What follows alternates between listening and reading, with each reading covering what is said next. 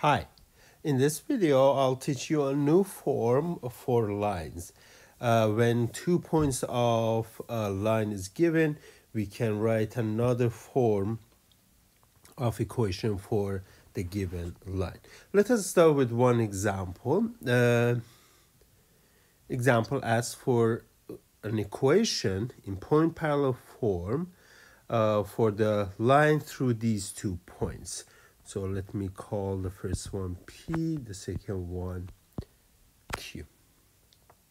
One thing that we always need to check is that do we have a point? Yes, we have more than one, but I'll choose to use only this one. And then do we have a, a parallel vector?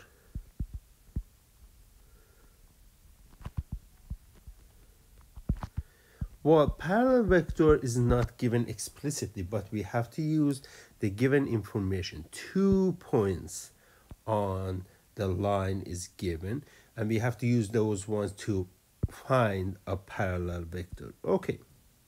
Geometrically, you can see that, okay, I have been given P and Q.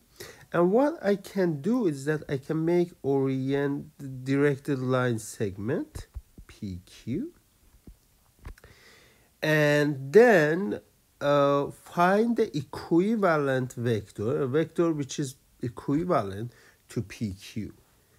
That vector has exactly same direction, same length as PQ, and as a result, it is parallel to the line itself. So this is the fact I want you to see and understand that the vector which is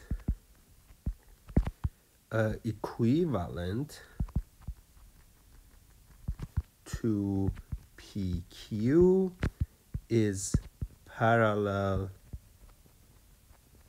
to the line. Very nice.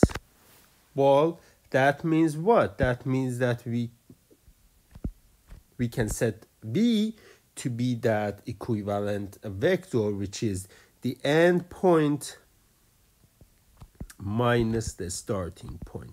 Well, the reason that I'm putting Q minus P, uh, the vectors, these are the vectors with endpoint P. So in this case, it is 2, 0, 5 minus 1, negative 2, and 3 and this gives us 2 minus 1 is 1 0 minus negative 2 is 2 and 5 minus 3 is 2 well we have v then we can go ahead and write the point parallel form. P here is 1 negative 2 3 plus t times v which is 1 2 2 well, this work can be done in very general setting. In general,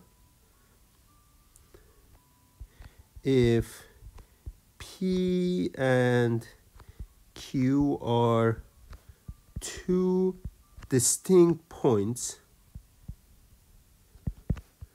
on a line, then we always can set the uh, B, uh, the parallel vector to be q minus p and then use that to write point parallel form. P plus t times q minus p.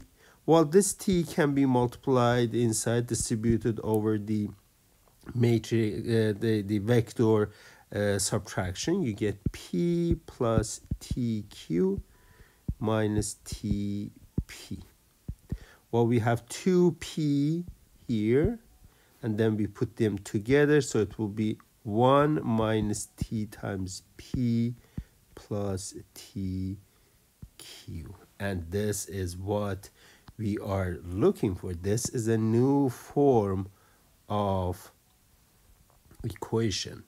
Xt equals to 1 minus t times p plus TQ. This new form is called two-point form.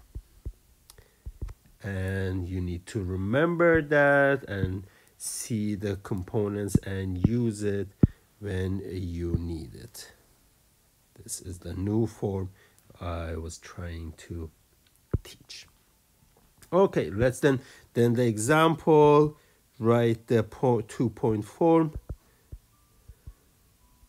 find the two point form uh, for the above line. While above line had p 1 negative 2 3 and q 2 0 and 5 well just plug in everything in this equation. Xt equals to 1 minus t times 1 negative 2 3 and q is 205 multiply scalar multiplied by t and added to what we have